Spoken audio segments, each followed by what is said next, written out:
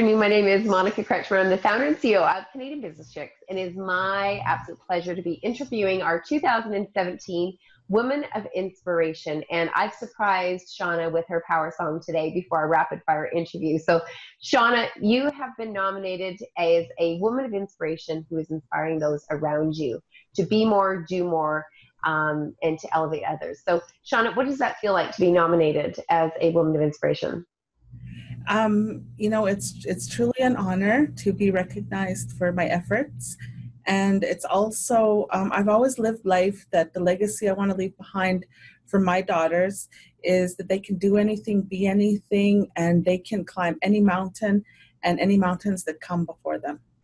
Fantastic. Well, you're doing something right, Shawna, and you are the business development manager for Community Futures in Treaty 7. That's a very large role. You touch so many others, and I'm sure those of us watching today would be asking that question. So, what are some of the keys to your success uh, in business and reaching those and inspiring those around you?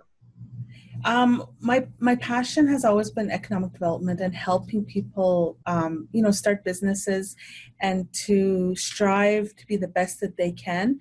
So I've I've worked, you know, hard with you know other people you know I, I haven't gotten here without having mentors without having you know advisors people i looked up to asking questions not being afraid to ask questions um, and just you know asking for help and just learning constantly learning and taking what i've learned and bringing it out to the communities and helping you know people within treaty 7 you know first nations people that are my people you know that you know what they can do anything. They you know they can be a business owner they can you know um, you know be ceos they can work in the workforce and you know be hard workers at it well, you are definitely a role model in that area. So thank you so much for sharing, Shawna. Congratulations once again on your nomination.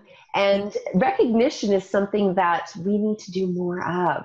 So maybe you can shed a little bit light on the power of recognition and, and what that plays.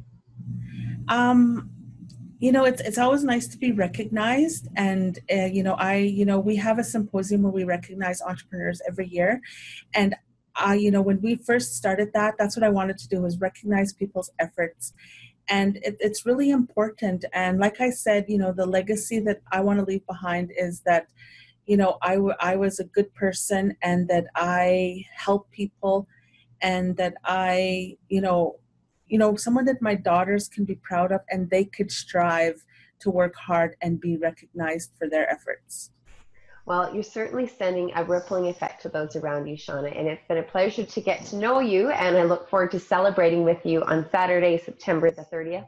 For those of you that are tuning in, I encourage you to run to the computer and go to CanadianBusinessChicks.com scroll down Woman of Inspiration and find Shawna's profile to read all about Shawna. Click over to Community Futures and find out more about the programs that Shawna's involved in developing and a little bit more about Shawna's world and her other nominees and plan to be in the room on Saturday, September 30th at the Calgary TELUS Convention Center. It is going to be Canada's largest inspirational and empowerment event. So we look forward to celebrating with you and moving those mountains. Thank you so much for your time, Shawna. Have a, an amazing day.